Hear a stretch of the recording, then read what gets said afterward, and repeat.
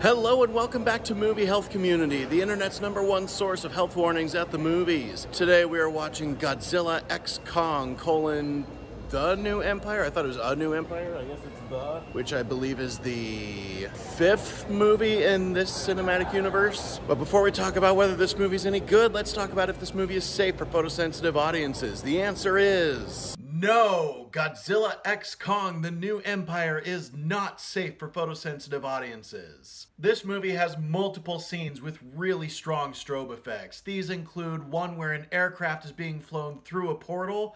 That one is over when some music starts playing. There's one where somebody dozes off in class and has a vision of rapidly changing, disjointed images and they flash so fast that there's no way of telling exactly what's happening, so you're not going to miss much if you close your eyes for that. There is intense lightning during a rainy scene, and there are some glowing effects with both monsters and items of the sci fi variety that do create frequent and unpredictable strobe effects. So we are giving Godzilla X Kong The New Empire a 10 out of 10 for flashing lights. Extreme caution. There's also a lot to talk about with camera motion, mainly the director's love of a very particular camera movement that involves a very slow roll that can be really disorienting. This happens frequently, including in an environment where the laws of up and down are frequently reversed, which is another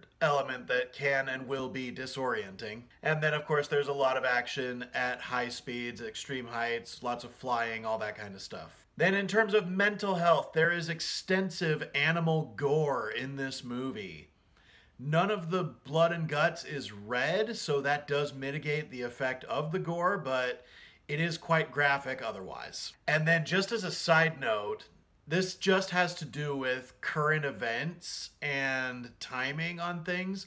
There are four bridges that are hit and destroyed in this movie, including three right in a row. And with this movie coming out the same week as the Key Bridge disaster in Baltimore, those moments can be a little uncomfortable with the timeliness of this release. Now, is this movie any good? You definitely have to be the right audience for this movie. If you're looking for a colorful spectacle with not a lot of substance and not having to think very hard, then this might be the movie for you. If you are still giddy about the novelty of having giant CGI Godzilla fighting with uh, giant CGI King Kong, then this movie is probably for you.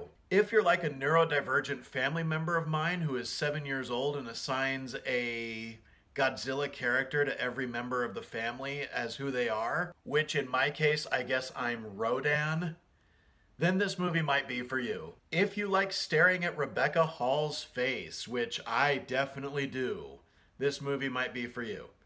Unfortunately for me, Rebecca Hall's face did not save this movie. I did not think there was a lot of substance to this movie. I didn't think there was anything deep. After I recorded my review for Ghostbusters Frozen Empire, I listened to another reviewer talking about how a movie needs to justify its existence. Like, if you're doing a franchise movie, there needs to be something special about it that's being brought to this franchise. And with this Monsterverse franchise, this being the fifth movie of that franchise, I don't feel like this adds anything extraordinary or particularly special that sets it apart from any of the other previous entries. Like with the first movie, the one thing everyone remembers about that is how heavily Bryan Cranston was featured in the marketing and how he was gone within the first half hour of the movie. Godzilla vs. Kong from a few years ago definitely took a hit from having a same day streaming release as a COVID measure. I had actually completely forgotten that Godzilla vs. Kong was the movie where there was an upside down earth in the sky in the same deal. I had forgotten that until I watched this sequel in the theater. But yeah, it turns out I had forgotten a lot about previous entries in this franchise, particularly about Godzilla vs. Kong. And I feel like three years from now, I'm not going to remember anything that's going on in this movie. Some of the human drama worked, especially the stuff involving the child in this movie. As I stated before, it's always a treat for me to just be able to stare at Rebecca Hall for a little bit. But this movie didn't feel like it needed to happen it felt like it was just made because the studio executives needed to continue another franchise and not because there was anything really noteworthy being added to it. Some of the spectacle and some of the colors are pretty to look at, but overall, I cannot in good conscience give this movie a good grade. So I am going to give Godzilla X Kong The New Empire a D+. Thank you so much to our readers on Tumblr and Facebook, and as always, an extra special thanks to our patrons over on our Patreon page, whose names are scrolling across the screen like credits right now.